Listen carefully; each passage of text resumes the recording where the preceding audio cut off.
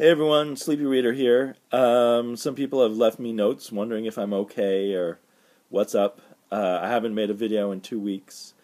Um, back in 2012, I used to make a video a minimum of once a week, if not two or three times a week. But I'm fine. I'm I'm just kind of catching up on things. Uh, I've had a little bit of a health problem with asthma, which is just a reoccurring thing in my life. Um, and that perhaps has given me a bit less energy also. But it's mostly just uh, busyness. So uh, I hope to be back doing more videos soon, and I am watching uh, lots of people's videos, as many as I can, and leaving comments here and there.